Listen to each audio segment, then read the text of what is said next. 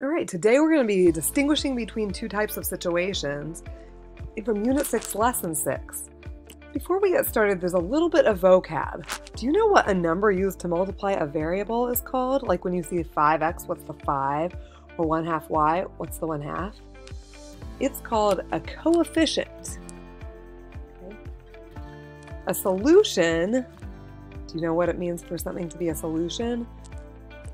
That is just a value or values which make the equation true when you substitute those in for the variable. So for example, if I have 2x equals negative 10, x equals negative 5 is the solution because 2 times negative 5 equals negative 10. And we're going to be thinking about equations with and without parentheses and the kinds of situations they describe today. So let's get some examples. Here's two stories. I want you to look at them and I want you to determine how are they alike and how are they different. So story one says, after adding eight students to each of six same-sized teams, there were 72 students altogether. And story two says, after adding an eight-pound box of tennis rackets to a crate with six identical boxes of ping pong battles, the crate weighed 72 pounds.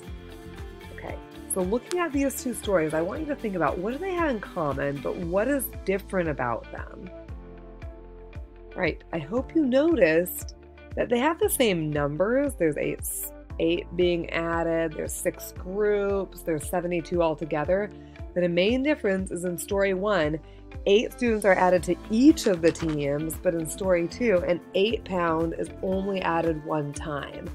So thinking about this, we're going to look at some diagrams and I want you to think about which one matches each situation.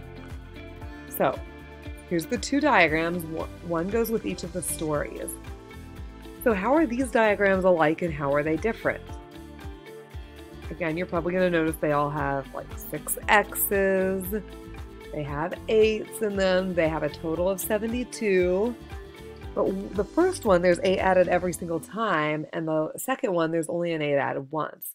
So I want you to try to match which one goes with each scenario that we did in the last, so of these two stories. So which one matches? Okay. Hopefully you noticed the team one goes with the top because eight are added in each of those six teams. And the ping pong situation goes with the bottom because the eight is only being added once. Okay, now we're going to look at an equations. Again, I want you to think, how are these equations alike? And how are they different? Okay, so they go with the same scenarios.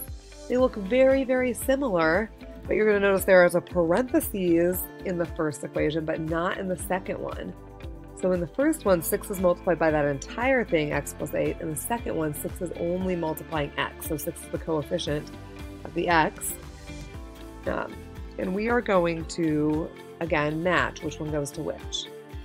So again, the team one goes with the parentheses because those are eight in each of those groups.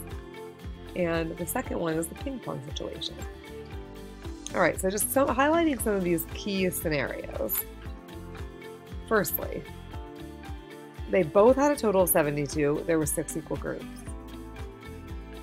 They in the team situation, eight were added to each group, but in the ping pong problem, there was just one additional eight pound box.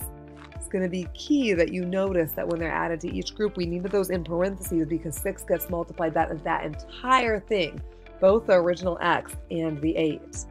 In the second one, the 8 is not getting multiplied by the 6, so the 8 does not go in parentheses. Are you able to take a tape diagram or a situation and represent it with equations?